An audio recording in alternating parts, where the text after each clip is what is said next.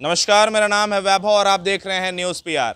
ये कोई नई बात नहीं है कि बिहार में अपराधी और अपराध, ये दोनों नाम एक दूसरे के सामने लगातार आए दिन खबरों में बने रहते हैं। ऐसा ही कुछ मुंगेर में हुआ, जहाँ पर एक भाई और एक बहन मिलकर हथियारों का सिंडिकेट चला रहे थे।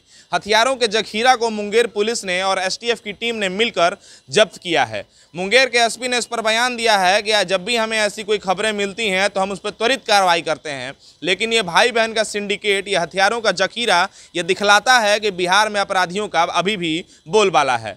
तेरह पिस्टल और सौ कारतूस के साथ एसटीएफ की टीम ने और जिला पुलिस की टीम ने इन दोनों को पकड़ लिया, धर दबोचा। और उसके बाद इन्होंने उनसे जब पूछताछ की तो पता चला कि पूरे मुंगेर में इनका साम्राज्य फैला हुआ है। मुंगेर पुलिस ने लगातार छापेमारी करते हुए खड़गपुर झील समेत मुंगेर के अन्य इलाकों में भी अपराधियों को धर दबोचा है और अभी भी लगातार छापेमारी इस क्रम में चल रही है। ये मुंगेर एसपी हैं जो आपके कैमरा स्क्रीन पर हैं। आइए सुनते हैं क्या कहते हैं मुंगेर के एसपी जगुनाथ रेड्डी। थाना अंतर्गत और पुलिस की कार्रवाई से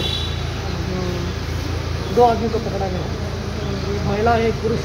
उसमें तेरह पिस्टल तेरह मैगजीन एक सौ राउंड गोली मिला और उनसे उनके द्वारा जब पूछताछ किया गया तो उन्होंने घंटा के जो एक आदमी है जो चंदन भगत है उनका यहाँ से लिया था। उन्होंने फिर उनको जब पकड़ के पूछताछ किया गया तो तो उनके यहाँ से भी हथियार और गोली और जो मिनी गन फैक्ट्री जो होता है सामान बरामद हुआ। तो हमारा टीम सब मिल के अच्छा काम किया उनको रिवार्ड भी किया जाएगा। सर एक मामला सामने आया कि भाई बहन मिल के ये सिंडिकेट चलाते थे इलीगल वेपन्स को उसमें क्या करेंगे?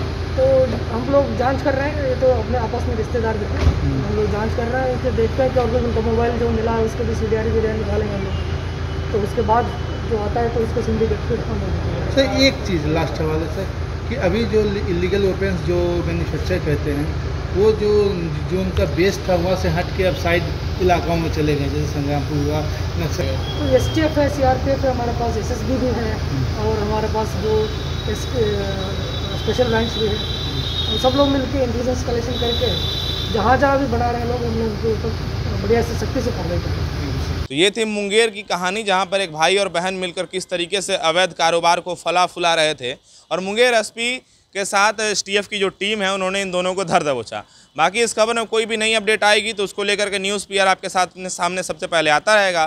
कैमरामैन हीरा के साथ वह पांडे, न्यूज़ पीआर पटना।